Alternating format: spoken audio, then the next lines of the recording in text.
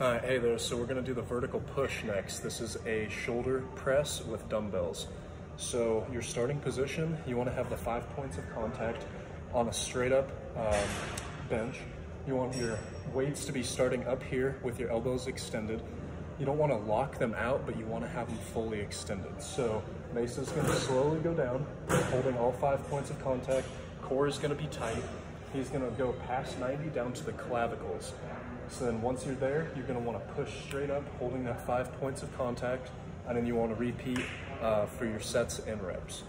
Um, while doing this, you wanna keep your head straight, slowly push your head forward when you're, um, when you're hitting the uh, upward movement so that you can keep that straight line going with, uh, with your weights so you're not trying to push forward or backwards.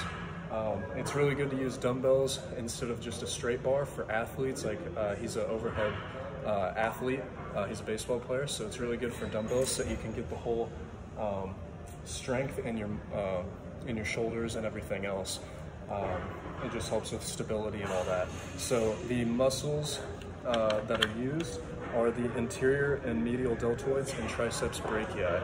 Um, I forgot to mention the end position is going to be the same as your starting position, all the way up at the top. Uh, you want to keep that five points of contact at all times. Thanks.